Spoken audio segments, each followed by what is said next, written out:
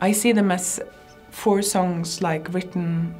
in a circle, um, like throughout the year in a way, starting with spring, which is obvious spring, and then September,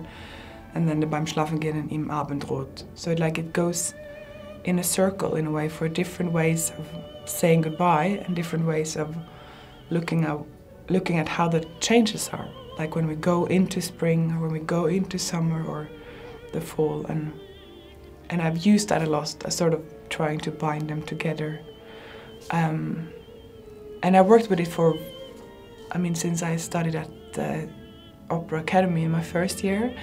and as a master's, I sort of wanted to use those songs as an example of,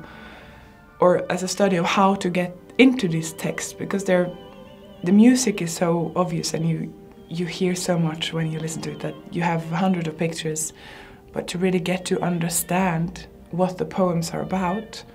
I wanted to sort of find a way to get it a little bit down to earth and a little bit down to how I can make you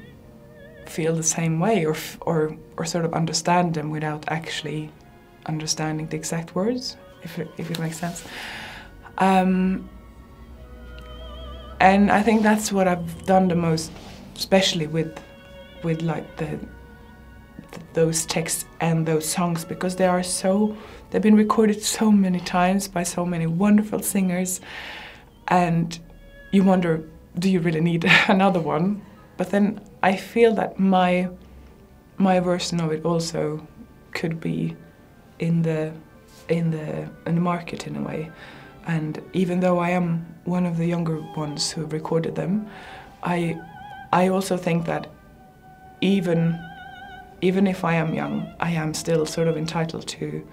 to know about those feelings that these songs represent because it's written by a man who's in the end of his life, in the end of his career, watching someone die and watching the fact that he will lose his loved ones and that this life is now over this is this is the end. Well it's not necessarily a, a sad or a bad thing. It's sort of an um, a goodbye but I think even though I'm not 85 can't remember his age but even though I'm not uh, as old as he was I still can relate to those feelings. The feelings of things changing, the feelings of someone dying, the feeling of, of my life going from one place to another.